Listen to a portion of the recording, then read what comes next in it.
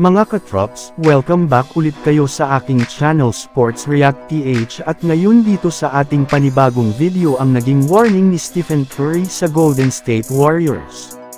Pag-uusapan na rin nga natin ngayon dito sa ating panibagong video ang balitang pagkuha ng Los Angeles Lakers kay Caris LeVert sa pamamagitan ng isang trade.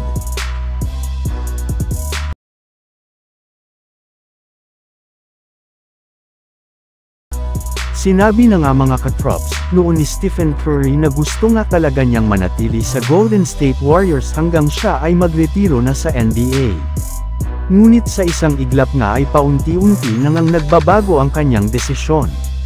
Sa katunayan, una na nga nitong sinabi na kahit man nga plano niyang tapusin ang kanyang career sa NBA ay marami pere naman nga daw pong mga bagay ang hindi niya kontrol. Bukod rin nga dyan ay sinabi na rin naman nga nito sa isa pang interview na possible parent nga daw po na umalis siya sa kanilang team kung sakasakali mang maging bottom feeder ulit sila sa standings next season. Mas gusto nga niya na maging competitive sa pagkuha ng kampyonato sa mga susunod na taon at kapag hindi nga nila iyan nagawa ay wala nga siyang ibang choice kundi lumipat ng ibang kupunan.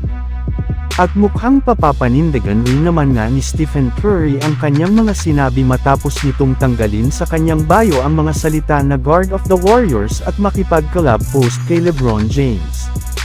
Isa nga daw po itong babala ni Stephen Curry sa GSW lalong-lalo na sa kanilang general manager na si Mike Dunleavy na kapag hindi na naman nga gumana next season ang ginawa nitong bagong lineup at maulit na naman ang pagbagsak nila sa standings ay siya na po ang susunod na aalis sa kanilang kupunan. Samantala pumunta naman tayo sa ating sunod na pag-uusapan ngayon sa balitang pagkuha ng Los Angeles Lakers kay Caris LeVert sa pamamagitan ng isang trade.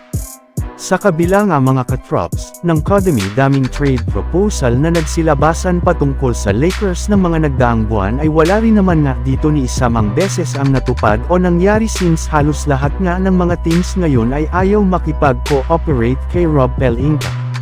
Pero ayon nga sa kalalabas palang na balita, meron rin naman nga daw po ngayong isang team ang handa na makipagtulungan sa kanila para makagawa ng trade ngayong off-season at ito nga ay walang iba kundi ang Cleveland Cavaliers.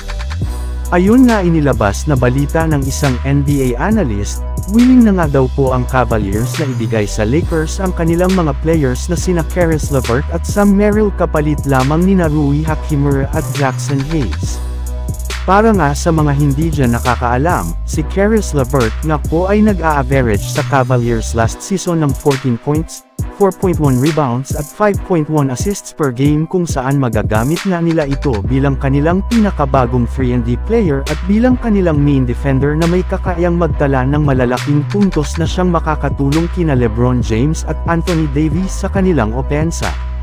So yun lang nga mga katrops ang handog ko sa inyong storya ngayong araw, sana nag-enjoy kayo. Please like and subscribe my YouTube channel Sports React PH para sa iba pang storya at update patungkol sa NBA, kitikets muli sa ating susunod na video.